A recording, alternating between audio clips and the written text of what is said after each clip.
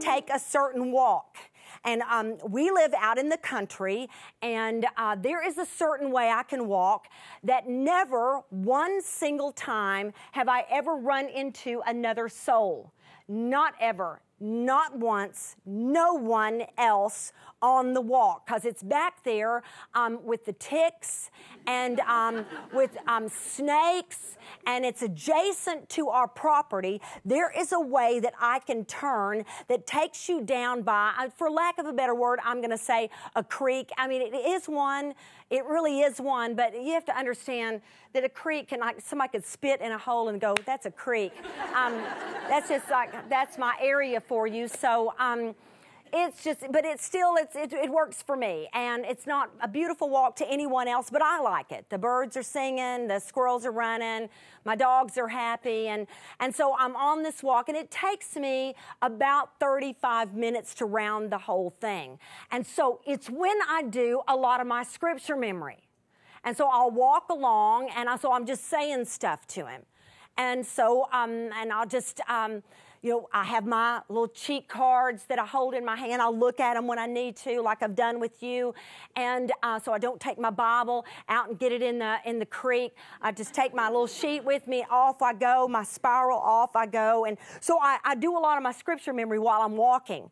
And so this particular day, I was on Psalm. This was just a few days ago. I know I've got you coming. I'm wanting to get in the mindset of Psalm 25. It's been a lifesaver to me in a lot of ways. And so here I I am saying it to him. And I get to the part, I, have just been in the part that says, The friendship of the Lord is for those who fear him, and he makes known to them his covenant.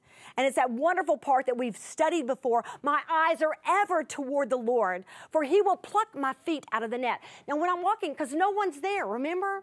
No one is there. So I get like, I mean, I do it just that loud but I just put more feeling into it because I don't have y'all going, whoa, that's a lot. It's just me and Jesus. I think he likes it.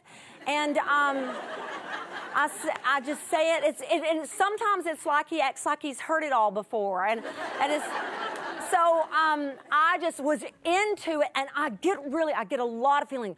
Um, I, to you, oh God, I lift up my soul. Oh my God, in you I trust. I was all of this kind of stuff. So I start rounding this corner and I'm right at the part that goes, Turn to me, this loud. Turn to me and be gracious to me, for I am lonely and aff- afflicted. and I am looking this close, as I live and breathe, this close to two people.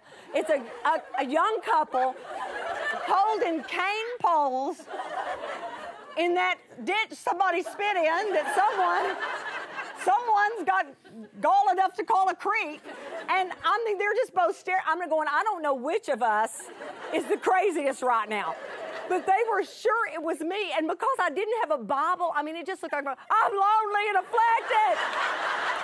I'm lonely and afflicted. I mean, they were like, the woman never said a word. She was like, I mean, she looked stunned. I, I, bet he picked her up. They were in two four wheelers. I bet he just picked her up and set her still frozen like this. And she never said a word. He looked at me and went, We're catching fish. And I don't, I don't, I didn't know what to say. How do you explain? Well, because there was nowhere for it to go good. I, I, well, I was saying that to God. Well, clearly, clearly. But you know, and you know what? They have never. I tried to get Keith. I said, walk down with me because we've got a couple. This was the next day. We've got a couple that are fishing in the creek. Walk down. We're going to go say hi to them. Well, he said, Elizabeth, they're they're not ever coming back. he said, I. There is no need for me to ever put out a no trespassing sign because all we need is for you to walk around there. I'm